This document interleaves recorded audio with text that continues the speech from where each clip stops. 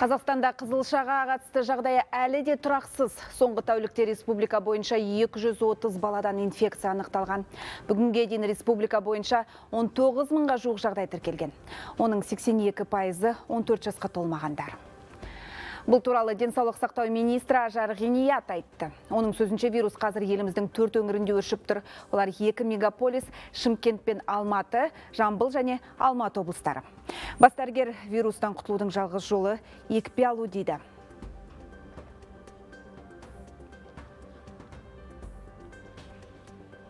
Материалды назарыңызға ұсынамыз. Тұрақсыз эпидахуал әсіресе Алматыда байқалады. Қазір ауруханада 110 ересек адам мен 220 бала жатыр. Барлығының жағдайы орташа дейді дәрігерлер. Инфекция жұқтырғандардың 95 пайызы әдеттегідей екпе алмағандар. Осы айда 5000 балаға вакцина салынса, оның 3000-нан аса дозасы 6 айлық сәбилерге егілген.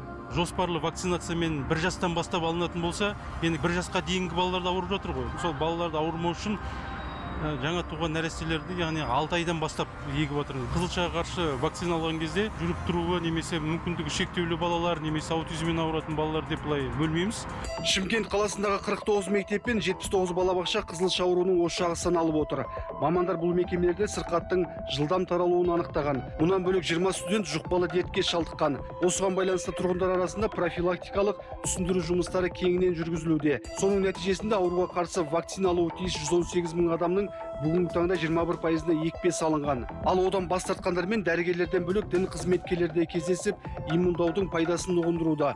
Соңғы дерек бойынша шаһарда 3 мыңнан аса адамнан ауру белгілері анықталған. вакцинацияны басталғалы осы кісілермен де жаңағы отказ беріп жатқан кісілермен де жұмыс жасап жатырмыз бұның саны 3366 Ә, осы жұмыстың нәтижесінде жаңа отказ болғандармен жұмыс жасалынып 34 пайызы бүгінгі күнге егілді Ал Жамбыл облысындағы жұқпалы аурулар ауруханасы 77 пайызға толған.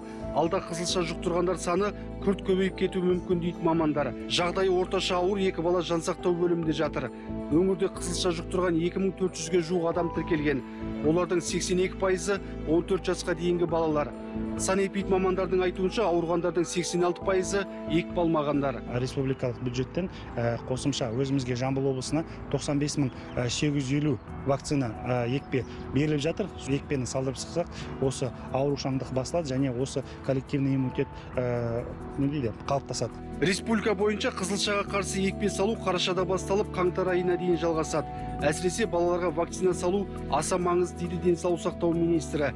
Өйткені бұл аурудың белгілі емі жоқ. бүгінгі таңда елімізде қызылша жұқпалы ауруына байланысты эпидемиологиялық жағдай тұрақсыз болып тұр барлық өңірлерде профилактикалық жұмыс яғни осы қызылша ауруына қарсы егілмеген яғни иммунитеті жоқ соның ішінде медициналық қызметкерлерді кейбір ересек адамдарды өзінің статусын білмейтін немесе иммунитетін жоқ дейтін ересек адамдарға да қосымша иммундау күндері жүріп жатыр Министрдің сөзінше қазір республика бойынша жұқпалы аурулар ауруханасының 50 пайызы науқасқа толған.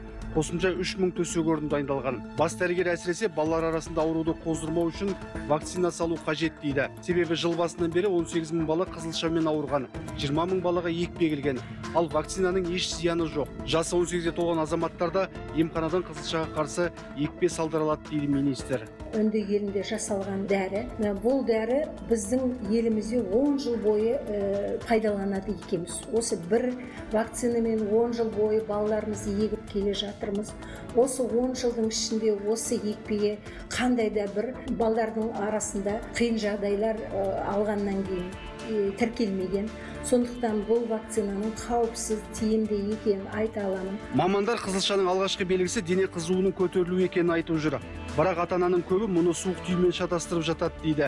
Өйткені бұл инфекция алдымен 4 күн дене қызуы көтеріліп, содан кейін бөртпе түрінде шығады.